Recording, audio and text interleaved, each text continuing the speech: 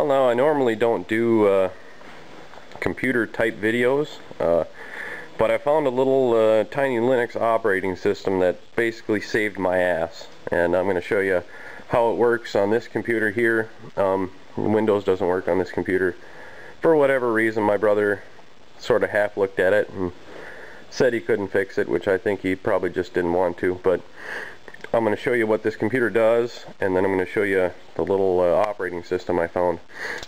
Now what happened to me on my computer I use in the house to edit videos was uh, basically I got a virus and then I went in there and tried to fix it which only made things worse and I couldn't get files off and I couldn't get Windows to run right and basically I screwed it all up.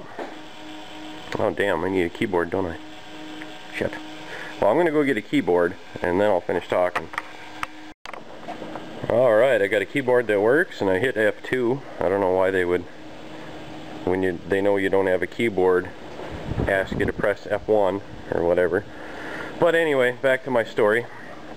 Um, I'm going to start Windows normally. I screwed up my computer, and I had files on it, and I couldn't get them off. And here's what happens to this one. It just uh, shuts down. So what I'm going to do is I'm going to open this up and I found this program called Puppy Linux on the internet. It's a tiny, that's not a program, it's a tiny version. It's a tiny little operating system. And basically I'm going to put that in there and I'm going to restart the computer the good old way with the switch. But anyway, I had to get files off my computer and I found this little tiny program and I figured well, with a name like Puppy Linux, it can't be hard to use, and I was right, it was real easy. But it saved my ass. And what it does is it basically, it operates off of the, uh, the memory, the RAM, I guess. I don't understand it, I'm not a computer guy. But it works, I know that. And it's super easy to use. I was able to save all my files um, to an external hard drive, or you could burn them to a CD, or put them on a little USB flash drive, whatever. And I just thought it was the coolest thing in the world, so I'm going to go ahead and uh, load it up for you and show you what it is. And it's it's so simple that, you know, I could use it, which says a lot. And you can go on the internet with it, and it's really cool little thing. But, you know, this computer obviously, you saw wouldn't load Windows, so now it's loading the little uh, little puppy uh, operating system. And I figured while I was here I would show you the inside of the computer. It is just filthy dirty nasty ugly. I got my CD-ROM drive up top. It's horrible but it still works which is good. And actually to run this puppy uh, Linux. I don't even need a uh, uh, keyboard, but I had to plug it in to show you what the computer does without the puppy Linux. So I'm going to wait for this thing to load, and then once it does, we'll come back. Well, here it is all loaded up. I'm sure you can't really read what's on the screen, but that's okay.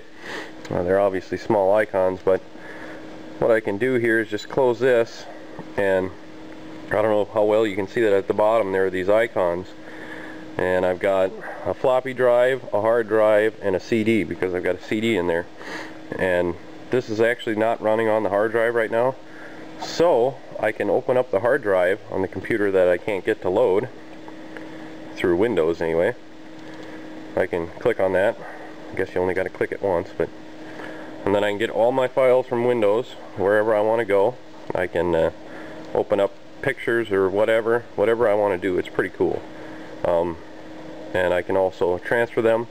I can burn them to uh, a CD, even though I don't have a CD in here. I'll open that back up again and uh, see if it gives me a see if it gives me an option to burn. I don't know. I'll, you can find it. It's real easy to use. And if you put in a, a flash drive or a different CD or whatever, it would just pop up down here at the bottom. And you can transfer all your files to an external hard drive or whatever. Or you can use this as a little tiny operating system. Um, It's got the internet if you click on the browse button and if you're hooked up to the internet which I'm not you can uh, go ahead and down download Firefox it's got uh, an image viewer a movie player I mean paint calculator write draw.